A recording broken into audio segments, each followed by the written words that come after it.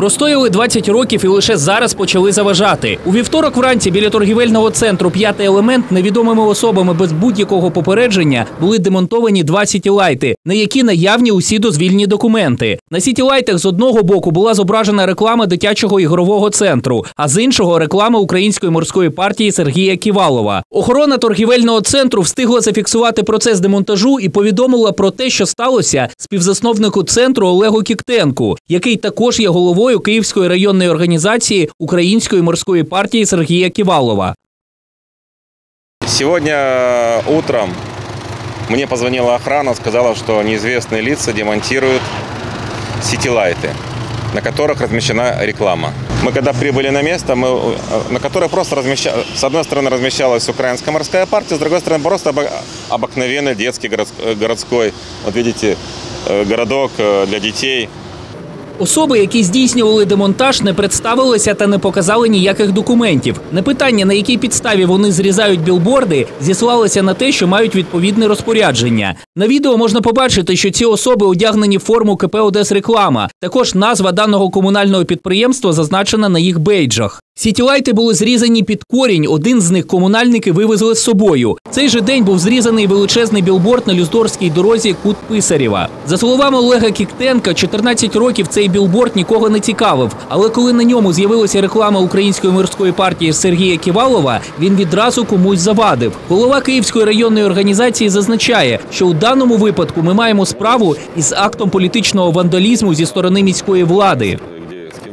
Я никому дорогу не переходил, не думаю, что мое лицо Сергея Васильевича кому-то мешает. Судя по всему, это кому-то либо место приглянулось, либо политические взгляды кому-то просто не понравились. Я не знаю, мы вот каждый день ходили тут и с дочкой на работу, с работы я ходила, с внуками гулять ходили.